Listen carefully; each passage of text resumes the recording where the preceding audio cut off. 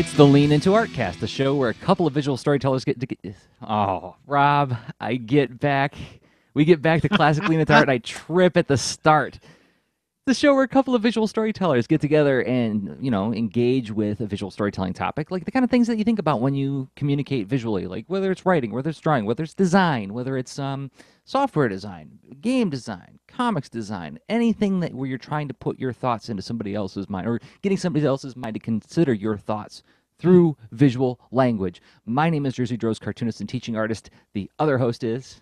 Hey, I am Rob Stenzinger. I am a uh, coder and designer, mainly with like UX and games, user experience to unpack an acronym. and that's why I, you know, drew that circle around all those different things at the top. Because yes, the Venn diagram of visual storytelling is Jerzy and Rob, right? Sure. No, no, we, we, neither of us have done film yet. Oh, that's true. No, not really. Not really. I um yeah, have huge respect. Uh, I I once took a course from the um, let's see, what was that? What's that? Uh, the cable access, right?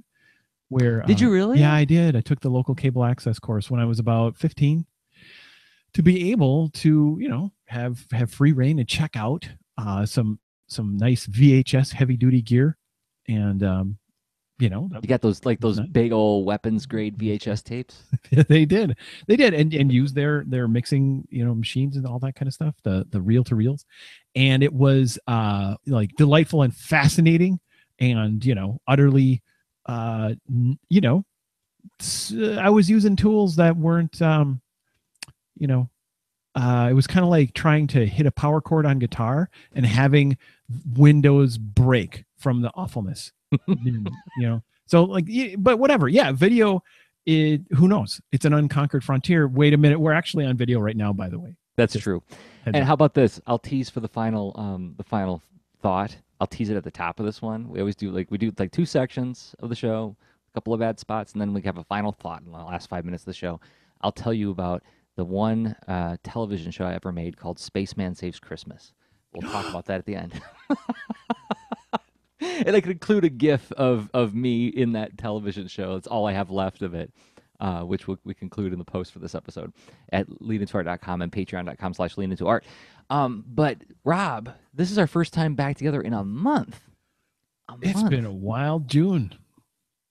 So yeah, I mean, we we started out with uh, with a couple weeks where uh, you were off on adventures, and then I was off on an adventure. So yeah, this is uh, it's it's been a while. Not a typical thing for us, but uh, but honestly, I guess I mean it's kind of been a, it's been about time, right? We're we've you know recording this for what uh six years? Oh, good lord! Yeah, yeah, it was bound to happen, and and yeah. as June is going to get crazier and crazier for us as the years go on. Um, like I, for for instance, what Rob's referring to as far as my adventures is, um, I co-organize uh, an annual event in Ann Arbor called the Ann Arbor Comic Arts Festival, or A2CAF, A2CAF.com. We just finished our ninth year of the show. Uh, oh man, that sounds awesome! It sounded incredible. Wish I could have been there. Yeah, it was. It was a lot of fun. It was. Uh, I wish. I wish you could have been too. I really do. Your presence was. Uh, the the lack of your presence was felt uh, by by not just me. Other people remarked on it. Bah, that's very sweet. But like, I mean, the the heart of that show is this this it's this amazing event that you you put on with your co-organizers and collaborators, and at the uh, the Ann Arbor District Library. Uh, every year for essentially comics of all ages, and you do an award show and all these workshops and all the personalities that gather. It's it's it's fantastic. I mean, and it's like if you're hearing this and you have like FOMO or whatever, nah, don't invest in that. Just put it on your calendar. Thank you for saying that. Thank you very much for saying that because that's that was like another takeaway from from that week was like you know I'm really I'm really fed up with this whole idea of trying to create FOMO. Um, yeah, you're trying. You, we're creating un, uh, unforgettable experiences for kids, and it's free and open to the public. So if you can't make it this year, just come next year. You know, it's mm. it's it's not it's not exclusionary. It's not meant to be like, oh, look at the fun we're having. Don't you wish you could be here? Well, yeah, we're having fun, and we wish you were there too. You know, so you should come next year. Um, anyway, but then you, Rob, you were at another really amazing festival. Yeah, I am. I'm very fortunate where I have I had to, had the chance to attend uh, the EYEO festival this year again. Again, I didn't know this was your fourth time doing it. Yeah.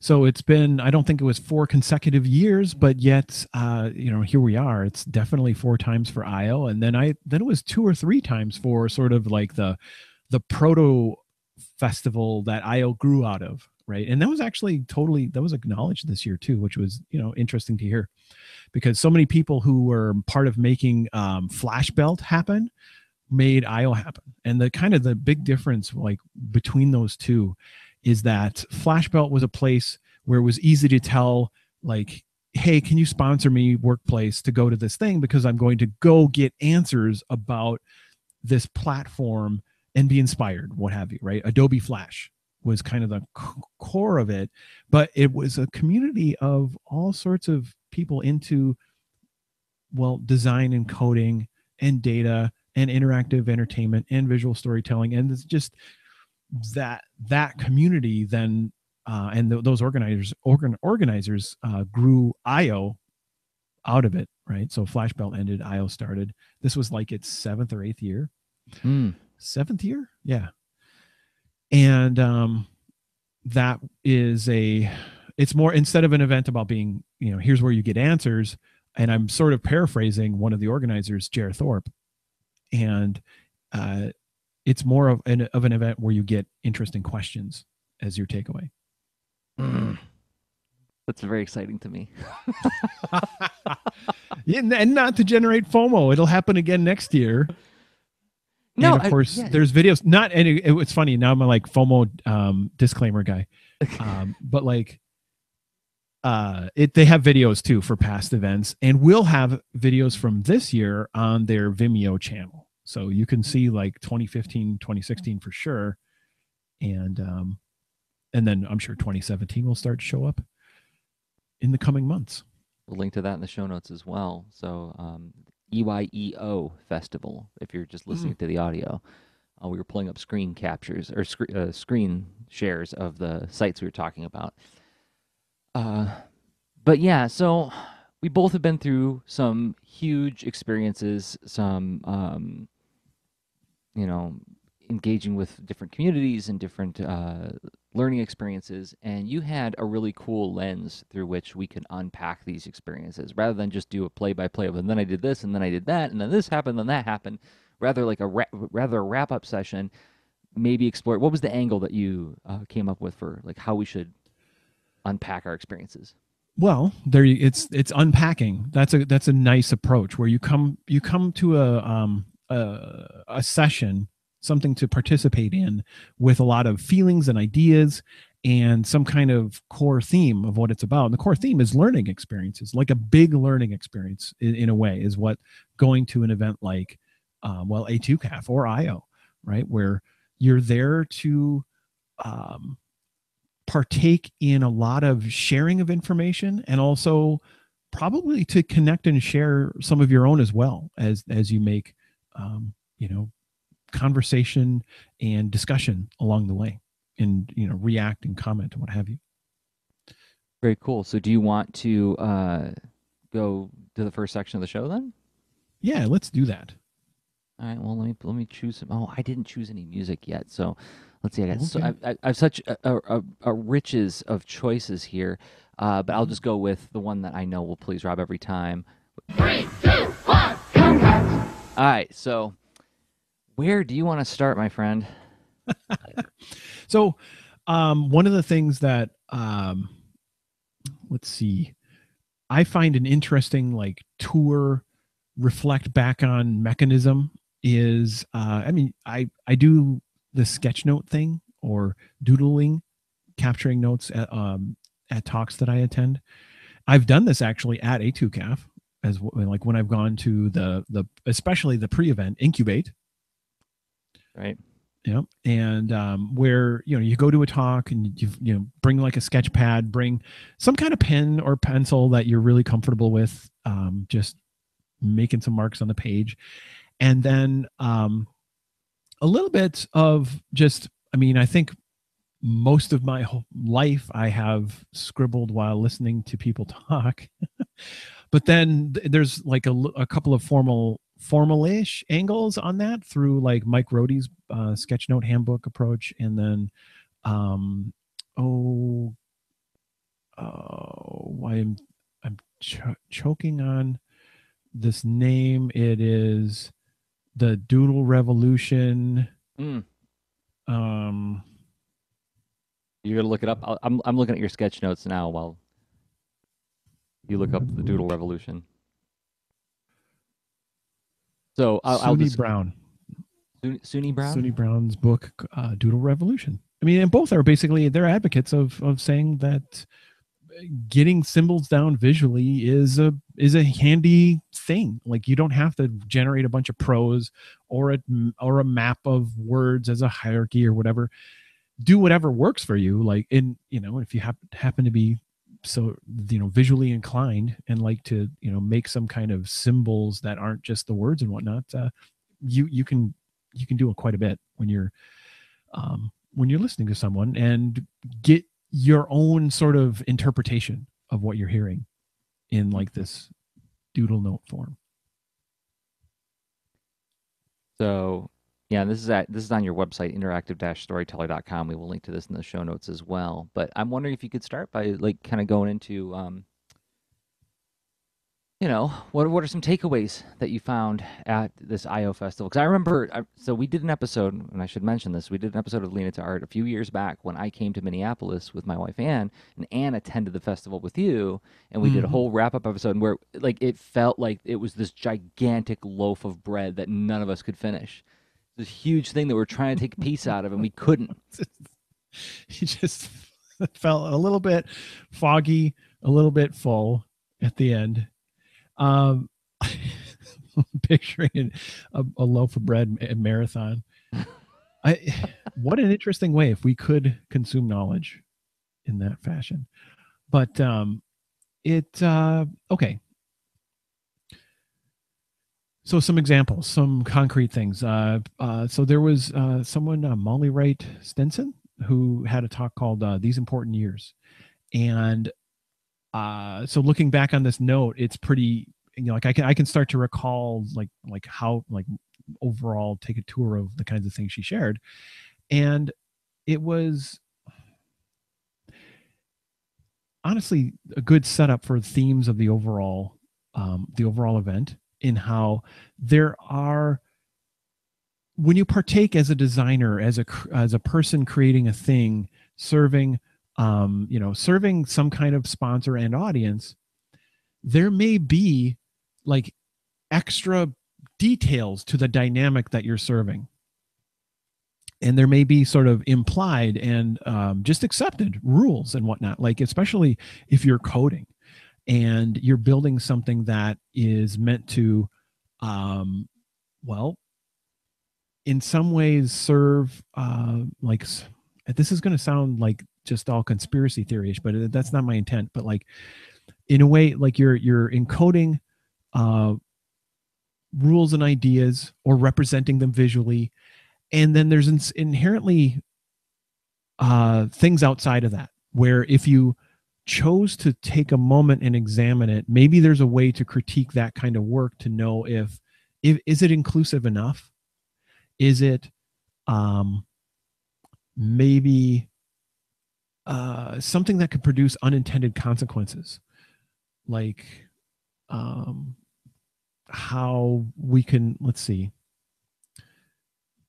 Uh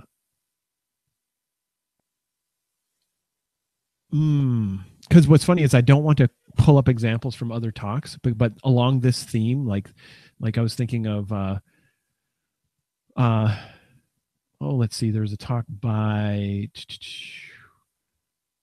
um whoops, here we go. Matt Matt Mitchell.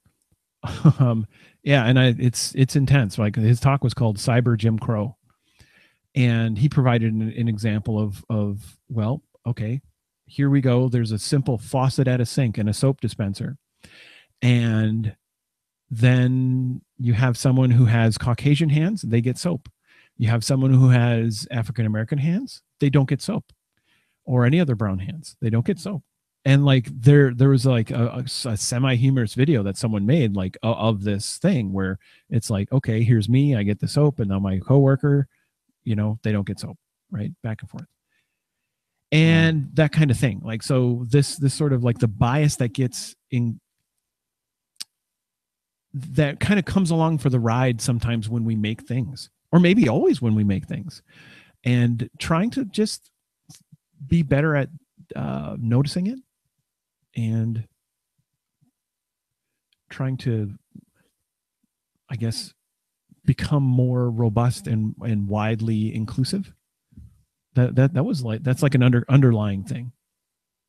Um, you're reminding me of a, a piece of advice that writers sometimes throw around when in, with regard to writing dialogue is that nobody or few people say exactly what they mean right? Oh. so the trick is to write dialogue that suggests what their ulterior motive or bias or agenda is without them coming out and saying it directly right um, and not not to say that everybody's being in, in, intentionally deceptive, but everything we say and do is informed by thoughts, constructs, patterns that we've either inherited or we've constructed ourselves. But uh, that that require or that invites scrutiny, right?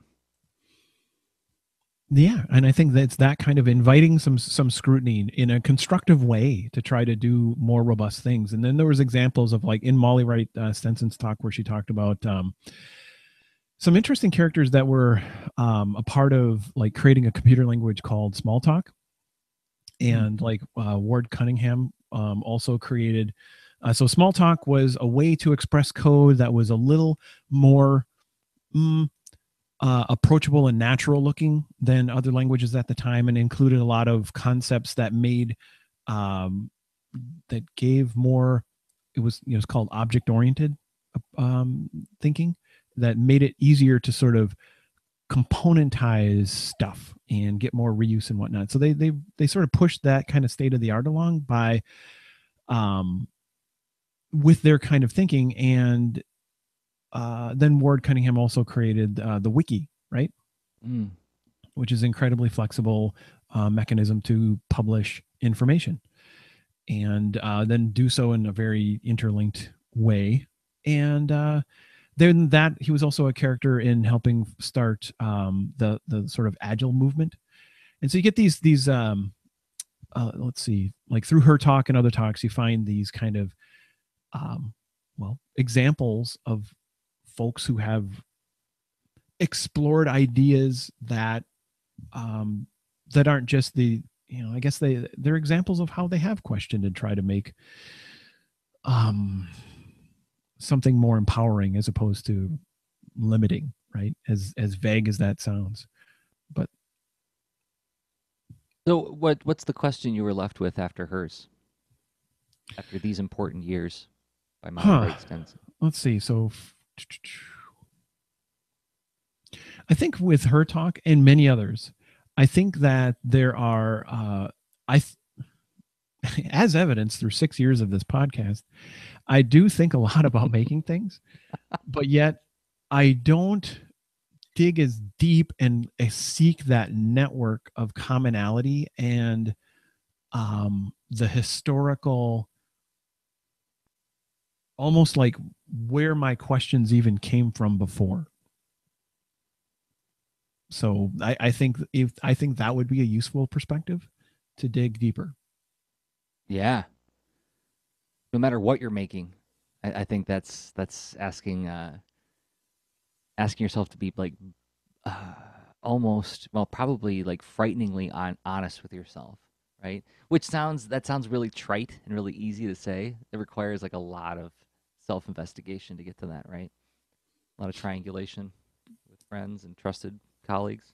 Um, yeah, triangulation and and uh, and looking for signals and sources just outside of your own head, um, which like, which for instance, be which can be in history, and which can be by pulling on the thread of like, well, what this idea that I'm using or that I feel so empowered or or whatnot by, um, whether it's a particular technology or tool or a um, or an idea like um, like approaching things in a um, like a design sprint. That's something that's really big into my current approach to things.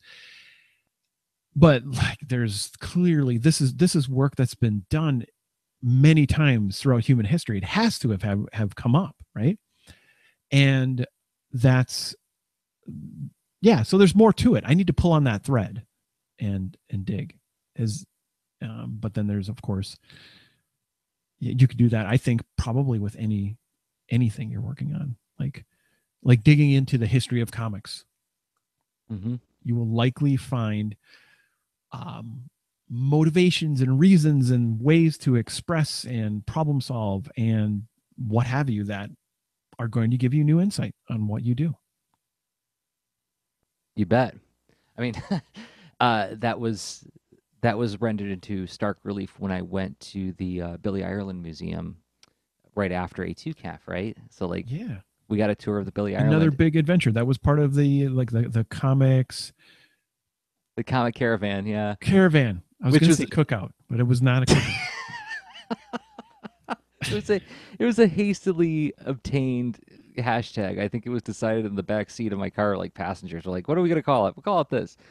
Um, it's a good it's a good hashtag better than my memory Well, it, and it came out of the fact that like for a part of the the, the, the trip was like Zach and and Hannah and Ann and I were in one car, Kean Soo, Tory Woollcott, and uh, Katie Shanahan were in another car, and we were literally caravanning down oh to cool Indiana in a, in a horrible, horrible rainstorm.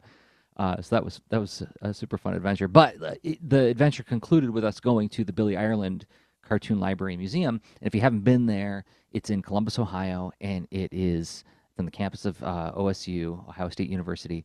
And it is a museum of comics art. And when you walk in, there's like this whole feeling of like this is a building. It's a big stone and marble building. It's like a proper museum and you feel like, whoa, this is like a hallowed place that that uh, treasures what we do. Like our our field, our craft is is honored and revered here. But we also got a private tour where we were going So, through. can we pause on that Yes, please.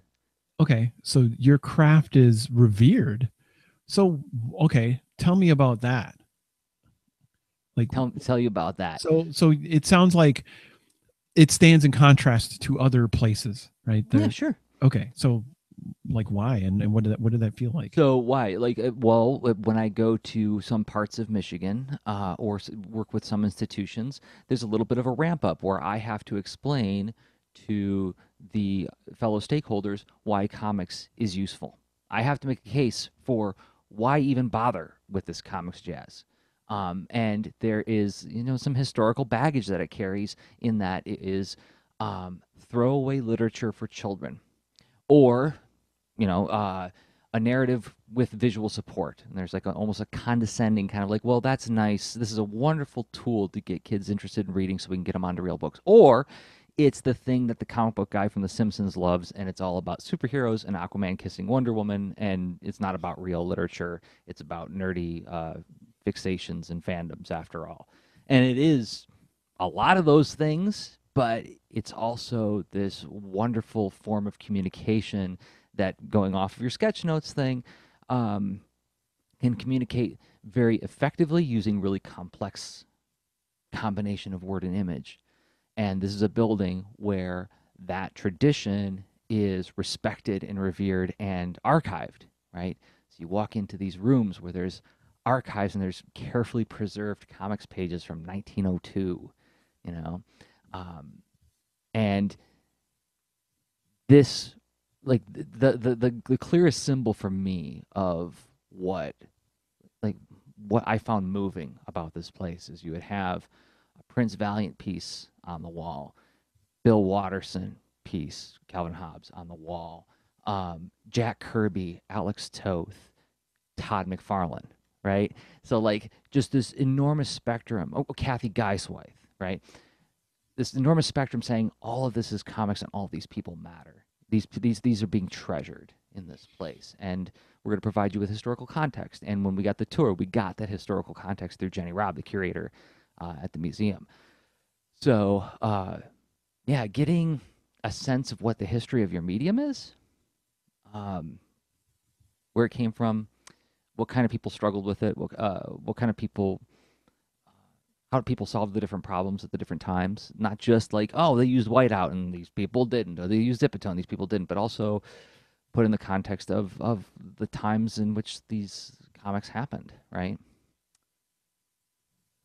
Mm. Yeah, it's easy to characterize and not appreciate something about the experience and the motivations that are different or how they are the same and how you how you're building off of this this wave of human endeavor that didn't originate last year with the release of a marketing product right? Right. and uh yeah and that not that that the new product doesn't matter. It does but it but it but it appears within a wider context right? So like um clip studio paint manga studio had like are are have a have a relevance whether you pull on the thread or not but you may find greater um, connection motivation like new problems to solve ways to i don't know tools to embrace or, or avoid based on seeing what other people have done so so you don't it's not just summarized where like hey those people in the 90s you know used whiteout like this blip blip blip uh, and then people in the 2017s go undo undo you know right. It's, you know and also not not to fetishize things, but like like they had Chester Gould's art desk there. Chester Gould, the guy who did the Dick Tracy comic strip. Hmm. It's like right there, and like you could like if you if you really want to be a jerk, you could reach out and touch it. You know, it's like but the, they'll they, they won't smile at you for doing that. But um, but like you can see all the ink stains and like these these smudge marks and burn marks and like just like the the the this object that was used for an entire career, right? And there's even notes on like oh, how he like you'll notice there's burn marks on the table. It's because he would use a lighter or a match to uh, hold under his comic strips to dry the ink faster so he can get more work done. Uh, Mm. i don't know. Little little stories and pieces like that uh, to help Well, I mean, as, as cliche as it sounds, it humanizes these people. They're not just legends anymore. These are like real people who struggle with the stuff that you're struggling with as a cartoonist. Um, I th- it, in to me, it sounds like there's a humanizing of. So what you're describing is like a humanizing of the past, and what I'm describing is a humanizing of the present too. So, like when you come to solving, like you know, you build up a toolkit of like coding and data and uh, video game present presenting things digitally or whatever, right? Uh, you may get some kind of impression or focus or fetishizing of the present or only barely slightly recent past right it's typically the now and also what's about to happen that that's that's fetishized whereas um you know like you're describing that happening to the past that can happen to the present in technology focused things and giving it context of like there this has been going on for a long time. That was an, another common theme at EYEO where, um, you know what, artificial intelligence has been thought of in a in very meaningful ways and also exemplified since like 1958. So that's not it's you know like right now you'll you'll see how a pundit may spit out a thing and have like the computers are going to you know be no problem computers are going to you know hurt us all AI is what I mean, like whatever they're doing, it's serving an agenda, and it's likely not being inclusive of that thread that is built upon so much prior effort and perspective. So it's a good it's good context. that was another one that like both Zach and I were noticing uh, in the exhibition at the Billy Ireland. They had all these political comic strip pieces, and it, Mm. they could have been written yesterday, but these are from like the 60s, from the 70s, and it's about uh, corruption in government, money in politics. When is the when is the Republican Congress going to finally, you know, show some spine against this president? Honest to God, th- these were real comic strips up on the wall that we, I, I I wish I would have taken more pictures of them. I was so caught. It was one of those things where I was so caught up in the moment, and like afterwards, I was like, ah, I didn't take it. I took like three pictures, but um, it was it was eerie how timely a lot of those felt, even though they were from another time, and it showed that it it, it rendered into perspective. Like the times that we live in now, right? Uh, showing that it's some of these problems just haven't been solved yet, right? Or, or I should say this: the problems that people observed persist to today. There's a nice neutral way of saying it, right? So, uh, we're we seem to be proposing that there's a benefit to getting exposure to those problems and those those circumstances and, and having some greater familiarity as opposed to just the surface glancing one right. and um well I, I honestly a pretty great way to do that is to partake in some kind of event because it gets you out of your your day to day and and you may have a chance to do something like maybe it's a quest like i think what you're describing going to that museum is is more of a quest that, but like then there's something like you know connecting to um, a bunch of approaches in a wider community to, at something like A2CAF, or then there's the the ideas and what what's being noodled or chewed on at something where an event that's meant to generate you know, lots of questions and you someone who makes and designs things um, like EYEO.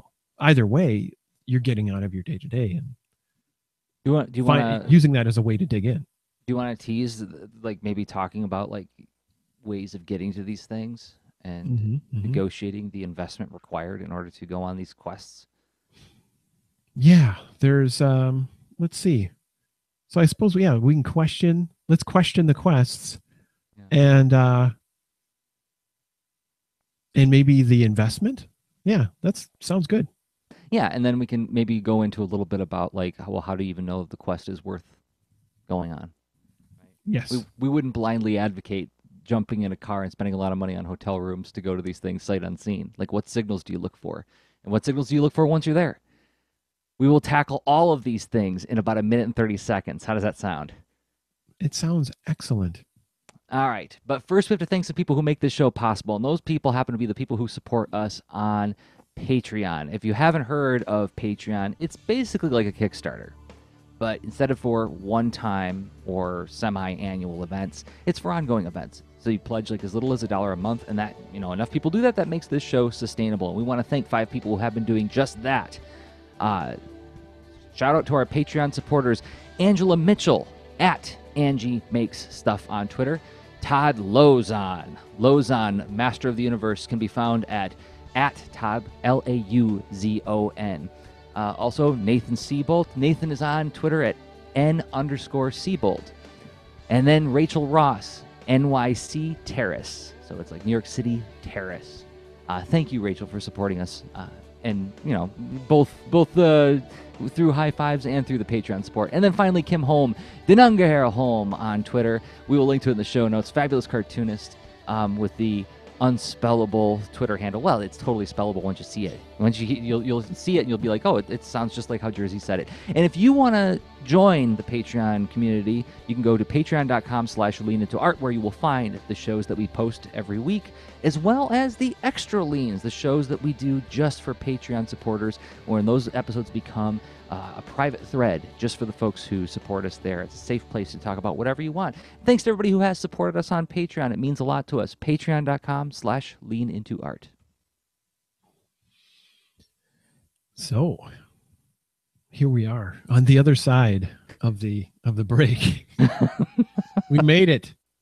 And uh, so yeah, you wanted to like let's let's question this uh, this investment because um, because it is a thing and, and it's not it's not trivial like when you are doing your um your your solo um independent efforts right um it's not maybe it's not even trivial too if you're if you're funded or sponsored through like um through a day job or you know or a client.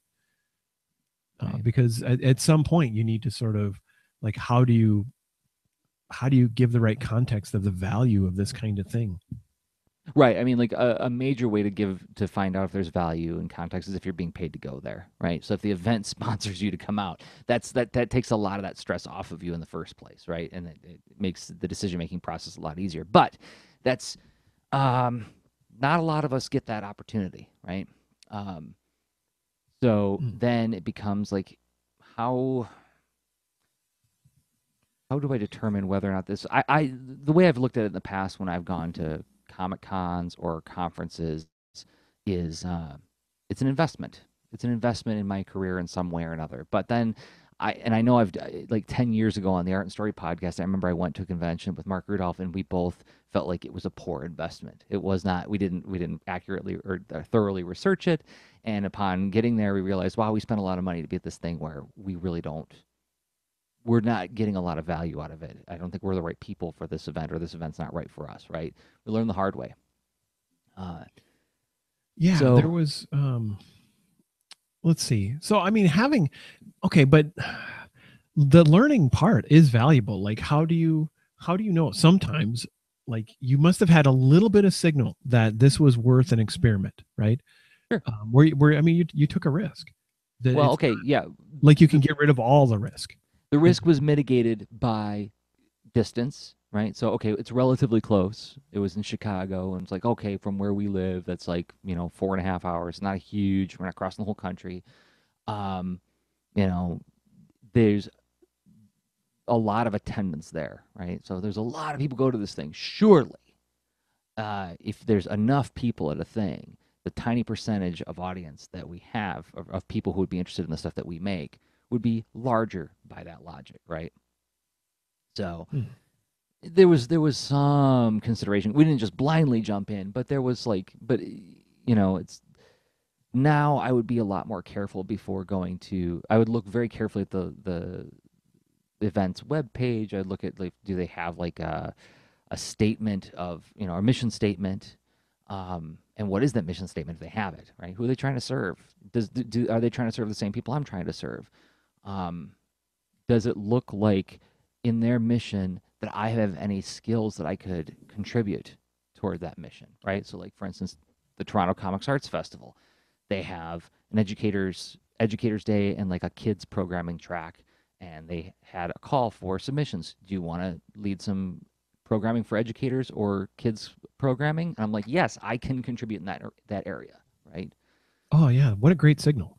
Yeah. That um, it seems like something that you can contribute to. There is a mechan mechanism through which you can attempt to contribute, and that's uh, yeah, those are really good, really good signals. And then uh, if you are doing some kind of contribution, hopefully there's some sort of value exchange where there you you have been provided admission or something, right? Yeah. And then if you're providing a lot of content, it, it, all the, somewhere between like admission to um, you know, travel and lodging to all the way up to, you know, fully compensated if you're providing um, something of high value to that event because, you know, they should be engaging in trade with you. Um, that's, that's, that's a really good point. Um, I do like to look for that in events. And um, then there are events where I'm able to be sponsored to go to where it's just, it's sort of an employer arrangement, right? Where hey this is part of my ongoing you know skill sharpening education and i can provide enough context where this seems um safe to sign off on right? And that's um that that can work too. I mean it's a little bit of um it's almost like you can't escape pitching at some point. Like you know you're you're you're you're pitching to go there to exchange some value. You're pitching to like um whether with the event as a conversation or you're pitching with someone to sponsor you to go to the event? I mean i feel like that's a topic for a future episode because i was just having this discussion with a student of mine where they were kind of wincing at the thought that like but i i don't want to pitch. And i'm like but it's all pitching. It's it's all you earning people's trust. Everything is you slowly chipping away to earn everyone's trust. Is it to quote you, Rob? Nothing gets done without trust, right? Mm. Well, I like your interpretation of it. Is your interpretation of it is is more useful than just just the proclamation of like, well, you know, you're trapped uh, with with without getting. Uh, and guess what? You can you can hack the trap by getting trust. Good luck. I'm out. But uh, no, that's you, you can't fight City Hall, kid. Don't even try. Right? Like, I'm, I'm, I'm, not. I'm not going to say that to a kid. Um, I, yeah, of course not. Of course not. Um, like okay, but let's see. The there's another angle on this too, where if you have the the um some events not everything is is the is a conference level expense not everything is far travel some of it's near and so there are ways to sort of mitigate the um, the monetary cost. Then you have to find a way to justify your participation in it. And some of that can be as um i don't know th- this is in the territory of like give yourself permission and you eat a piece of chocolate and whatever kind of stuff. But like it's a little bit in that territory but it, it inherently like you need to ask yourself why are you why are you looking at this thing that is potentially nourishing? You if you already feel confident in it and you have the ability to afford it and through whatever evaluation it's like okay you've got the time on your schedule. You can you know it's it's it's it's low cost to travel to what have you. And, and it's a quest or an event whatever it is. And if you're still kind of hesitant um, there was a there was a talk that isn't exactly about this but it really i think points out some some um, some helpful alternate framing of things and like what do we value at in our endeavors? And and like why do we think well we always we have to fill our days always with things that are the monetary exchange things right? And so there's a great talk by jenny odell um, which i didn't do great sketch notes for um, because the evening keynotes it's dark it's hard to sketch in the dark. So there's that. But um, uh, yeah, Jenny Odell provided um, one of the um, one of the closing two closing keynotes um, that at EYEO, and um, she actually links to a uh, a Medium article based on that talk already. So like you can consume the heart of that that her message right there, and it was all about how to do nothing and more or less the value of just you know not trying to frame every single thing as an in, this is my paraphrasing but like as an industrious transaction for your time attention and money and whatnot just mm. being just being a person in a place things are going to occur to you like the other like that other productivity stuff will get done that kind of thing you know, with and the talk was not naive in saying that, like, well, we don't need to show up to work on time, that right. kind of stuff, right? It was more, there's probably space for some of this, and uh, you know, I've been I've been seeing it passed around on the web recently among some of the cartoonists that I follow. Um, this this notion of being bored is quintessential to writing, right, or to being creative mm. and leaving space to be bored. Not occupying all of your time with like oh, i'm i'm i'm knocking down all the bowling pins today. You know i'm on fire. Bam bam bam.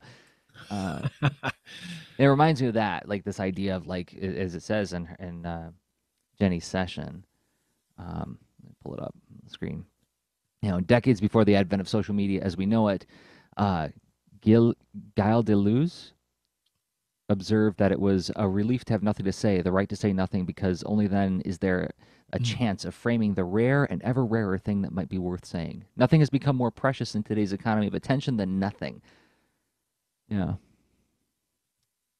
It's great. It's, yeah, it's very much the opposite of action reaction. So, you know, there's a tweet, here's a hot take. Yeah. Totally yeah. the opposite. And, not that that isn't a natural human thing to partake in as well, but like there's, you know, that's a different kind of effort. You'll get different outcomes through that through that effort. You know what I'm um, also reminded of is that that Taoist principle of like, what is it that makes a wheel useful? It's the hole in the middle of the wheel, right? It's the mm-hmm. nothing. Mm-hmm. Like the moment that you decide something's good, you have to decide something's bad, and it's uh, it's it, the bowl isn't what's useful. It's the space inside the bowl, that kind of thing. That that that nothing has to exist um, as well and sometimes that's the best part. Sometimes, because mm-hmm. that a, a Taoist would never tell you that anything is always one way or the other. Which is, and, and I think you you instantly fail Taoist Club by talking about being a Taoist too. So that's true. a true Taoist wouldn't even talk about Taoism. uh, anyway, yeah, I've yeah.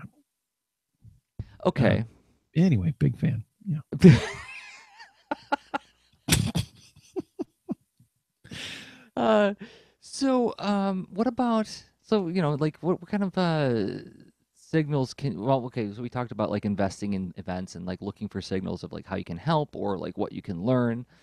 Um is this something where there's like a, a an ethos or an attitude that like sounds like this is a culture that seems harmonious or resonates with me and I'd like to try to swim in those waters a little bit? Because like when you go to EYEO Rob you're not necessarily you're not doing talks you're not necessarily contributing in that way. You're contributing Mm-hmm. through interacting with people right while you're there. Mhm.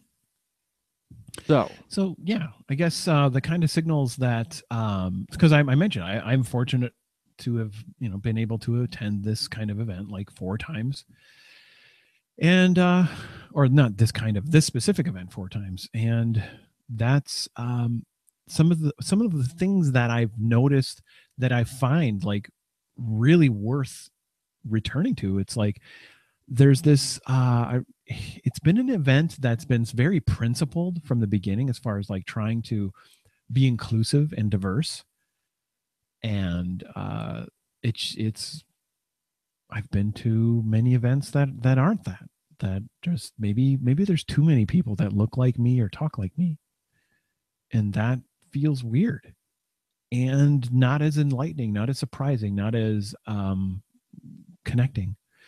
So yeah that's been a good thing to notice um, that there's a specifically like you know ahead of time look at the look at the lineup. Are there a lot of uh, is there a diversity in in in gender and um like let's see um gender identity right? And is there diversity in um in in culture and race and that kind of thing? Uh diversity in maybe having some cohesion not like this is the chaos welcome to chaos con. It's Right. about whatever the heck. Who knows? We we but whatever like it, is- it has an aboutness to it that you're like i am attracted to to that aboutness. Um and like like EYEO has this thing of like there it's not like there aren't tools and tech discussed ever.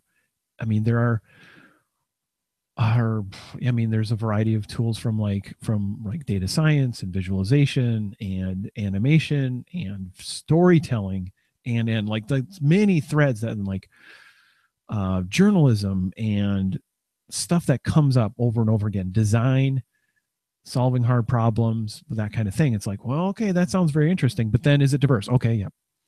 Um but then when you're there okay you take the gamble you've justified going there once. I mean hopefully there's tons of signals you're getting. Then from like well what's it like to be in the crowd there? What's it like to chat and partake? Um and i can say the same thing about A2CAF i mean i think that's an amazing event. It's like the like things emerge out of that crowd like the crowd does nice things Yeah, uh, something that we, as or- organizers of the show, and I was getting ready to, to bring this to react to your uh, your points, like from a different standpoint, as the person who's actually organizing the event.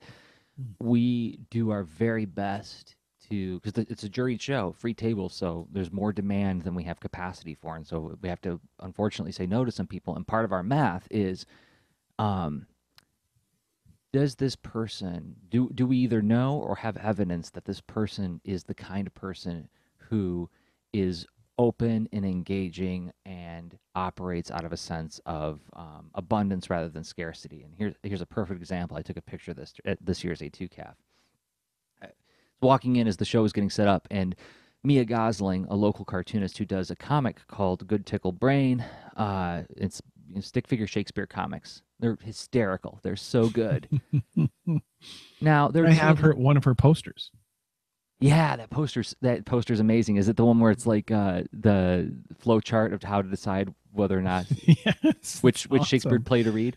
yes So good. Um. Anyway, so I walk by Mya's table and there's a sign on there. There's two other artists at A2CAF. Now, there's not a lot of tables. I think we have like 50 artists. It's not a huge show, but there's two other artists who have Shakespeare comics. So Zack Giallongo was there with his Stratford Zoo Midnight Revue uh, books, and also Sean Manning with his book about Macbeth or his comics adaptation of Macbeth. Now, Mm. what does Mya do? Does Mya say, "Oh crap, I'm in direct competition with these people"? No, she puts up a sign saying, "Oh, if you're at my table, you probably like Shakespeare." well, here's two other tables you should go to after you go to my table, right? She's doing freaking readers advisory at the show and encouraging you to stop at other tables at the show rather than making her table the only stop, right? Mm. That I felt like like how privileged I am to be part of a thing that encourages that kind of culture where the artists there, even if they don't know each other, they support one another. I don't know. I I, I know that Fantastic. it's getting squishy, but like I, I was really moved by that. And so I want to give out a shout out to uh, Mya one more time, uh, goodticklebrain.com.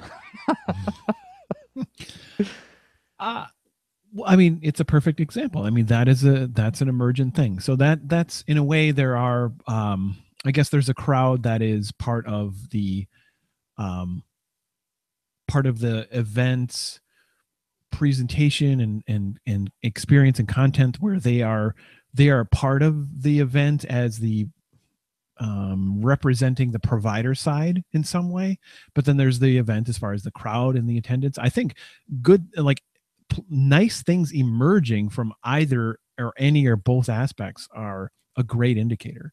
Um, like this isn't exactly the same but like there are like i've noticed that you know essentially speak people who speak at EYEO seem to participate and engage and attend other talks as well right? That is This- awesome. there's not like oh there's the chariot arrives and the you know oh the the person with the knowledge showed up. And then when they're done they wave and you know away the chariot goes. No they're they're there as well and partaking and learning. And it's just it's it's pretty cool to see um, no, that that's really cool. That that's that's an enormous signal to look for is um, because somebody who is there to speak did an enormous amount of work to put together that talk. An enormous amount of thinking and effort went into being able to do a talk of EYEO caliber, right? guaranteed yeah So, one could easily, ex- I want to say excuse, but understand if after doing that talk, you're like, look, I got to go back to my hotel and just like lay down because like that was intense. but for them to have a hunger for experiencing the show that everybody else has is that that that shows an investment in the culture that they have right they're not just there to do a paid gig they're there to work hard and also to participate and learn hard and all that stuff right mm-hmm. Huge. It's it sends a signal. It really does. And that's that's one of the things that that i find attractive about about that that event. I'm certainly i'm i'm curious. And so clearly like i mean if you can you know find the budget time whatever the i'm in I, i'm giving you know a wholehearted endorsement to EYEO like you know i will link to it in the show notes as well and if you have the you know the time and can afford it you know you should go it's it's awesome. And then uh, i am deeply curious about the a sister event that i've been trying to uh, th- INSTINT? that's instanced yeah.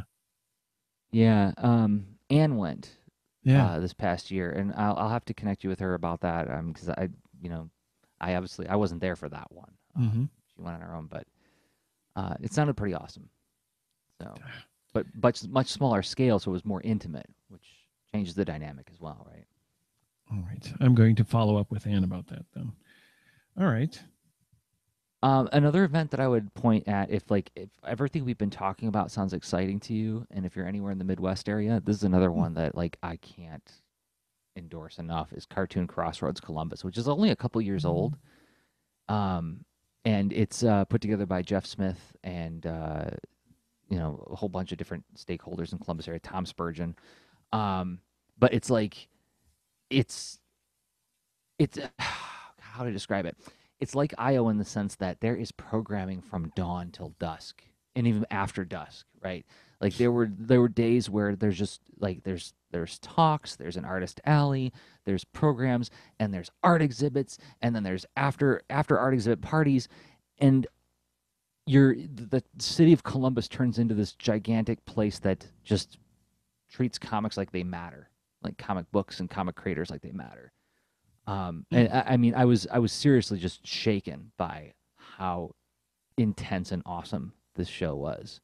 Um, it's not just a Comic Con; it's like it's like a proper festival, like a real like four day festival. So I, I I remember your reactions from this. I'm glad you brought it up. This it sounds like a pretty amazing experience. Like what's uh like what what's one um I mean the honoring of the comics endeavor and Okay, yeah. whatnot. Okay. So th- there was there was multiple art exhibitions going on. Some at the design school on campus. Uh, some at the Billy Ireland uh, Cartoon Museum, and, uh, Library and Car- Cartoon Museum. Um, and then there were talks with like you know, stellar like uh, really important cartoonists who contributed in very important ways to the medium, like people like Seth, like really great talks with them, were like really well moderated discussions.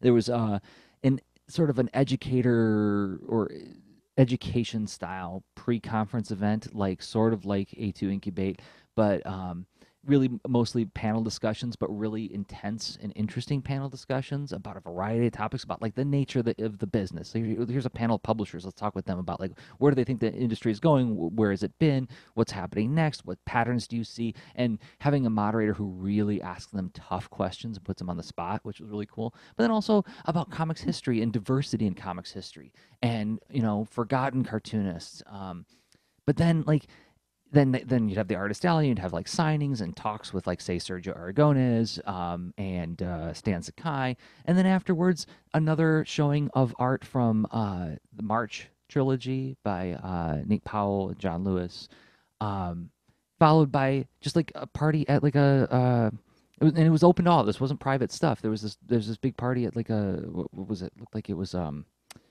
an old warehouse that got converted into a bar. And and it was this huge event where there were so many cartoonists but it was also very intimate because like we were just standing around like just like chatting casually with with cartoonists like sergio aragones and chris schweizer. Like we're all just mixing like you like you should right? And the, th- again they did this amazing thing with the culture where um i would get introduced to people who maybe are doing edgier more intense maybe more um, adult oriented stuff. They find out what i do. What do you do Jerzy? Oh i make comics about a pig that rides a tortoise and you know fights chicken wizards. And there was never this like step back of like okay well maybe we don't have anything to talk about. We found common ground on everything right? And like everybody was eager to find that t- common ground. It, and it felt very natural to look for that. Um, so it was it's just this very positive place where everybody where you get I got the sense that in, in an industry that feels very fractured sometimes, it's rare to go to places where it feels like we are all trying to communicate visually through this medium, whatever kind of story you're trying to tell, whatever kind of thing you're trying to say. Mm. Uh, let's celebrate what makes that so special. So that's that's that's amazing yeah the uh, the what a great signal to look for and it's hard to do if you know from afar it's just that if if you go to an event and you see that it has that sort of unfracturing effect that it's really collecting and including and combining perspectives that's uh that's powerful. And it's it's pretty great to be a part of. Even if it's like alien and un- uncomfortable it's probably going to be nourishing in some way. Like if it, that one of those things of like if it's out of your comfort zone yet you probably won't regret it yeah, um which i don't know it's i think like we've had like a pretty good final thought on like the topic but like you teased the thing in the beginning here oh, and i'm wondering what did I tease at that? the beginning? so you teased this thing called spaceman saves christmas That's right. Oh, we'll have to keep playing with this this technique of teasing these things because that after going through all that, I'm like, do I really want to talk about some silly t- television show that I made when I was in high school? But we'll do that. How about that? Mhm. Um, okay. So um, in about two minutes, minute and thirty seconds or so, we will uh, talk about a thing I made uh, 25 years ago called Spaceman Saves Christmas. And I wish I still had it on tape. But before we do that, we got to thank some more people who make this show possible. And those people happen to be us. We make this show possible. We make this show every week, but we, you know, what what fuels the show, what informs our thoughts and discussion that we do every week is the stuff we make. And so, of course, we would love for you to interact with the stuff that we made. And the thing that I most recently made is a comic called Boulder and Fleet, which you can find at boulderandfleet.com. And what is it? It's a story about a bear and a bird who are best buddies who go on adventures together. They're adventurers for hire. So they look for work. What's their work? Adventuring. And that's going to get them in trouble with all sorts of different kinds of mythical monsters and things. Um, animals, people clothes, super cute.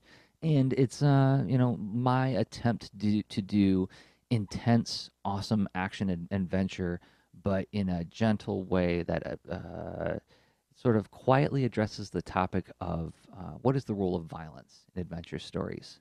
And you can find out what the conclusion is uh, to that thought at boulderandfleet.com. Rob, you make a game. You make a gentle game.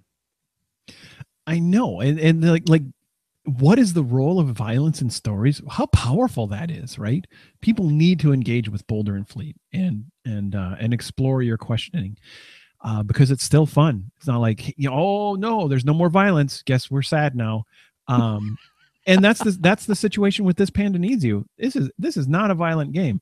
Um it's pretty mellow actually and by design.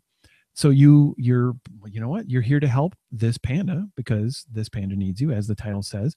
Uh, put things right and what you're putting right is, is stacking blocks. It's this physics um, you know stacking shapes and patterns kind of game where uh, panda shows up here's a level for you to face. There's a stack of blocks. A cloud comes along knocks them over. And now it's your job to to put things back to the way that to the way they were. And um, it starts out pretty easy and simple and then it gets more and more challenging over like 50 plus levels. And uh, it's available for your iphone and ipad hopefully coming to other platforms soon Oh. maybe i would love to hear from you and uh, you know get some reactions votes for different platforms uh, so you know hit me up on twitter you'll hear that later on but like uh, to check out this panda right now you can uh, get it in the itunes app store And if you learn- if, yeah. if you did purchase it or if you do purchase it, giving it a star review, five star review would be super useful. That helps more people find it. It really does. It does help a lot, and uh, I deep, deeply appreciate that. So yeah, it's it's at uh, the ideas and learn more about it kind of thing are at this dash panda.com. This panda. And if you are here saying like, look, we just tune into this show because we like listening to the way you guys break down ideas, fair enough. This is a product that we make, just like our comics and our games, but we also make other things that are like this show, and that is at leanintoart.com slash workshops, where you can find all sorts of uh, different comics and video game workshops that we've created that you can download at a price of your choosing, even if that price is zero. Although, if you download it at price of your choosing that happens to be zero, and you find immense value from it, another thing you can do is you can go back and you can like buy it again, and it'd be like tipping us for the the cool stuff that we make. And that's at leanintoart.com slash workshops. And if you, you know, if you've already done that, you're like, what else can I do? Because I really believe in you guys and what you do. Well, besides signing up for the Patreon at patreon.com slash lean into art, the thing you could do right now is if you're watching the video on YouTube, giving it a thumbs up. That helps more people find the show, raises our rankings in YouTube search, a very important search engine. Or if you're listening to it in a podcatcher, like whether it's Overcast, whether it's uh, Stitcher or iTunes uh, or Google Play Music, giving the show a star review, five star review would be super awesome helps raise our, our, our rankings in search and helps more people discover the show. More people that discover the show, the more people interact with our stuff, the more sustainable it makes the whole thing. And we thank everybody who has done all those things we just talked about. Yes, thank you very much. All right, final thought. Final thought. There's a Uh, thing in the world or somewhere that existed once upon a time in the world. It requires a time machine, but but Well, I'm going to go to my Google Photos now because I think I Mhm. have it in here. Um, Spaceman saves Christmas. Um, so uh, no, no search results in there. I'll have to just put the GIF in um, in the post. okay. Yeah, because I'm not finding it just by doing a quick search. So um, when I was in a senior in high school, I took television television production class, and what was like both wonderful and disappointing about that class was is that it was really largely treated as a blow off class by a lot of seniors because it's like oh we just get to make TV shows how you know how important is that? But like I as the guy who wanted to go into comics was like learning new storytelling principles right? So I was like I, I showed up to class like really serious. Like I, this is like I would have loved to have gone to high school with you, honestly, because I actually I so I took the I took that course the um the community driven one through you know like uh um oh what do you the the same oh, thing. yeah, the community television, like yeah whatever. yeah but, but i took the high school class too. And that's where i learned a lot more about the more formal roles and jobs and how the how the how the um flow of a show gets managed especially if there's a live performance and the the the technical director in the booth and all that stuff. I mean you know it's it's neat to learn that um but okay so i interrupted it. Storytelling um a new yeah medium? so I, I showed up to this class like really like i wanted i i wanted to use it as a way to level up my storytelling skills right? Hmm. um and so i tried to do all my pro- like most of the projects that were done in that class were like you know kids sitting in chairs like having like uh, what was that show that uh, what is it between two ferns or whatever right like that zach galifianakis does like that kind of talk show with like a little wooden table between two chairs with a black backdrop um, because that was really easy to do, right? Um, but I would do like, okay, well, can I do a Vivarin commercial? Vivarin being that like caffeine pill that was really popular in the '90s, where like, okay, I'm gonna hang myself upside down, put the camera upside down, I'm gonna have to light it so it looks natural, so that when I take my hat off after I take the Vivarin, my hair stands up, right? Like stuff like that. that's fantastic Which I, I never got like and this is the disappointing part is like I never got really awesome grades because I kept challenging myself to do interesting things and like they never really worked right. So like it was it was like A for effort, but your execution is terrible. So you're getting a B plus or B minus on these projects. Um but one of my last projects I did in that class, uh, I found this stock footage in like those giant uh, weapons grade VHS tapes in the back room, and one of them was like helicopter footage of this town called Frankenmuth, Michigan. And I know I've talked about Frankenmuth with you before, Rob, but in case anybody hasn't heard me talk about it on the show, um, it's Hmm. this little German village in Michigan. It's like uh, a, a German friend of mine described it as Bavarian Disneyland. You know, it's this, it's this little touristy town where there's all these quaint old uh, German style houses and restaurants and stuff. And uh, so, and I found this helicopter footage. I'm like, well, wait a minute, we got a chroma key set up over there. I could chroma key my chroma key being like the green screen technology. Um, I could chroma key myself flying over Frankenmuth. What could I do with that?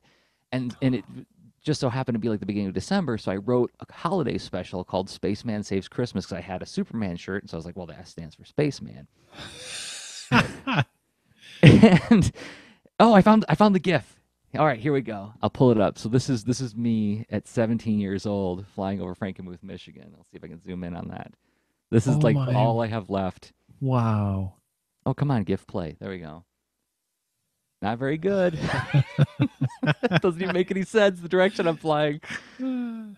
Uh, and look at that 90s hair. So so attractive.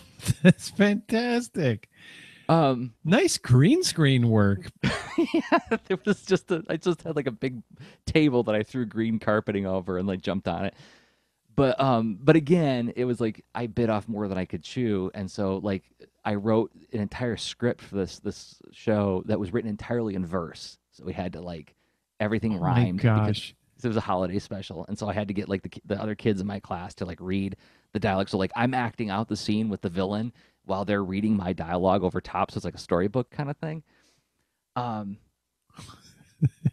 and and the most probably the most uh possibly not true but as far as my memory uh leads me to to believe is there's a fight scene in it and um where the the the kid in my class he's playing the villain. He was a nice guy. We were friends but i don't think he got that like like he he was trying to really sell the violence. So like I and this is why I wish I had the videotape because I really got beat up on camera. And like Oh. it's a good thing that I had the guys in my class reading the script for us because I wasn't mic'd because like it, I kept saying like okay that really hurt. Stop it.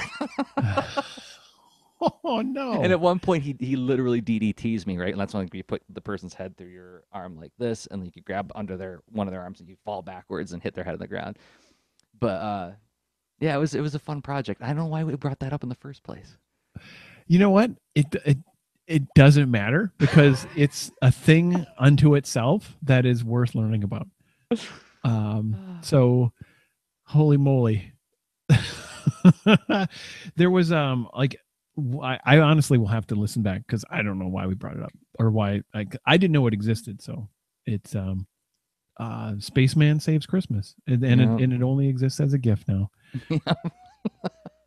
and you're fine. You're you, where wherein you are flying sideways through a parking lot with a castle in the background.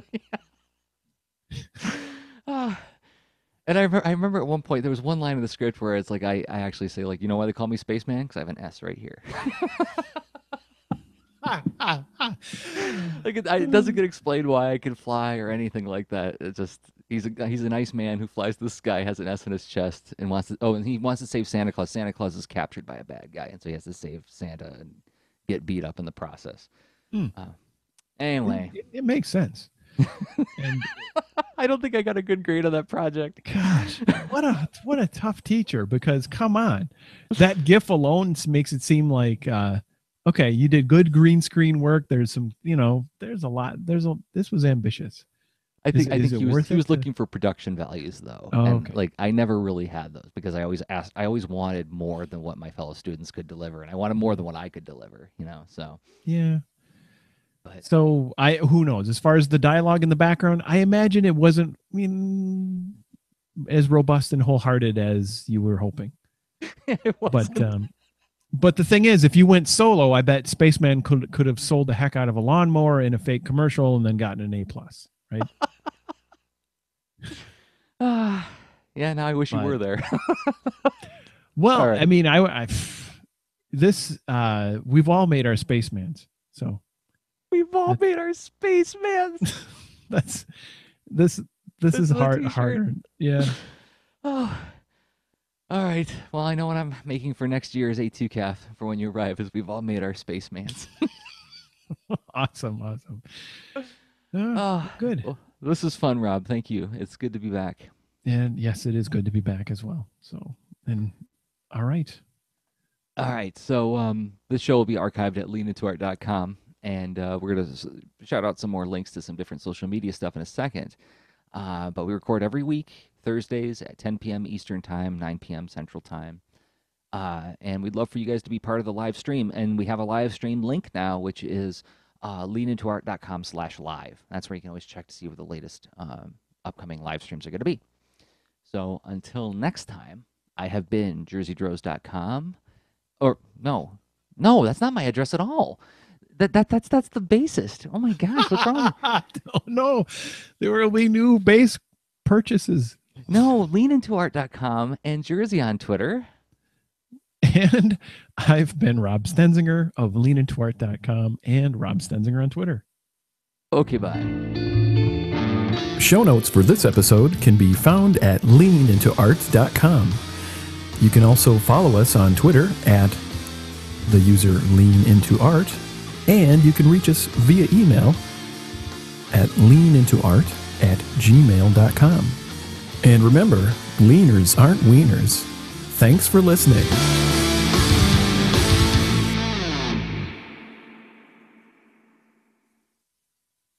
Okay, I'm going to shut off the stream. Thanks for hanging out with us, everybody. Yeah, thanks for hanging out.